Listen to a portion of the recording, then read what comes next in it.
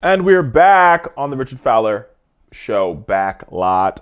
And every month on the back lot, we're going to give you monthly updates about what is going on in Fowler Nation, what's going on in my personal life, just what's going on, right? Don't you want to know? A um, couple things. Thing numero uno um, is we are now, you can now help support the Fowler Show by going to patreon.com slash Fowler Show. And uh, basically what it is, we need you, if you believe in this show, if you believe in independent media, if you believe what we do each and every day, if you want to inform, empower, and help folks get their voice back, give us a recurring donation. Per month, you can give a dollar, two dollars, three dollars. You won't even notice it on your bank account. Like a two dollar, it's like what your gym membership, which you don't notice that you pay every month, but you haven't been in five months, right?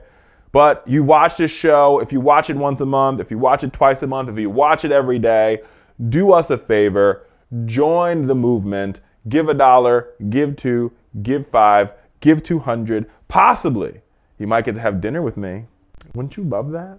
Having dinner with Richard Fowler? Come on. Me and all my essence and glory. You also can, you might get a phone call from me. I'm pretty funny on the phone.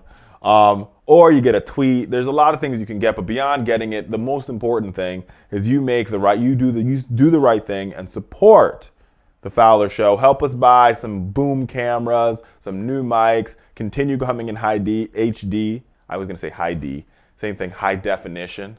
Um, but all of that you can do by simply going to patreon.com slash Fowler Show. Also, also, you can donate your account. You know, come on.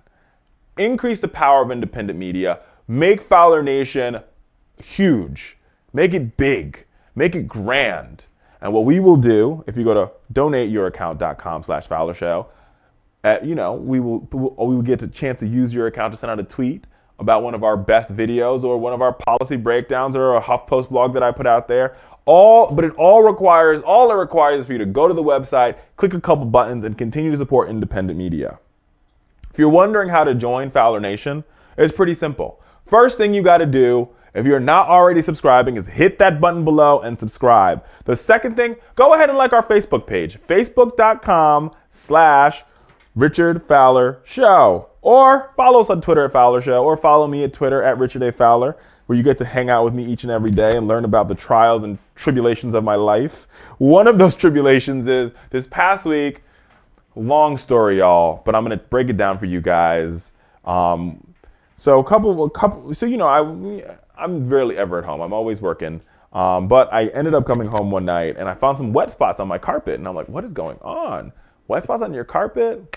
And I didn't put them there. Not like I had sex there or anything. I'm joking. I kid, I kid.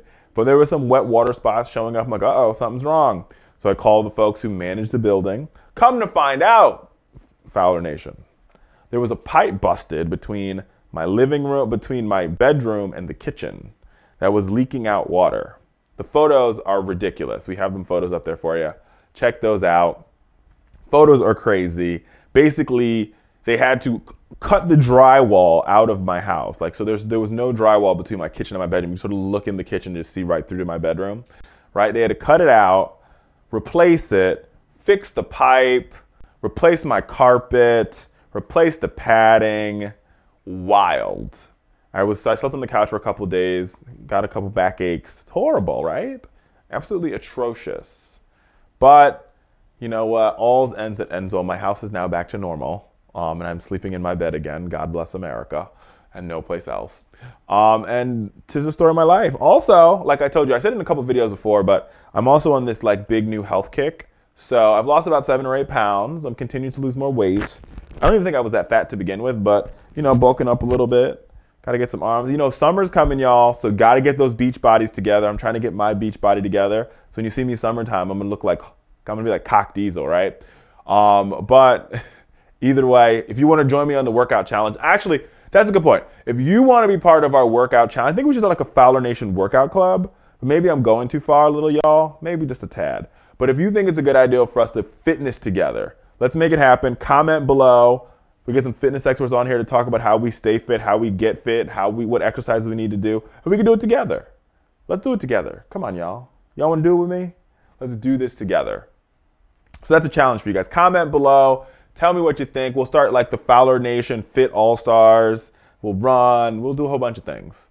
Because this journey is nothing without you guys. You guys keep me motivated and keep me going. I think about you every day when I'm on the treadmill on mile three and a half, or about four miles, but on mile three and a half, I think about all of y'all. Y'all are great.